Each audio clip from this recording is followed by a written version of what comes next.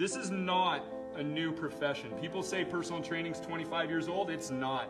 This is a modern version of healing prophet. That is actually the mission you are all on here today. And you're going to notice that, that people are going to look at you with a reverence. And they're going to look at you with a respect, all of your clients. You're like, why are you telling me about all these life things? I'm just a fitness trainer. Don't forget who you are right now and the importance of the mission you're all on, whether you realize it or not. You're the modern version of healing prophet. Count of three, friends forever, enemies for never. You ready? Here we go. One, two, three. Friends forever.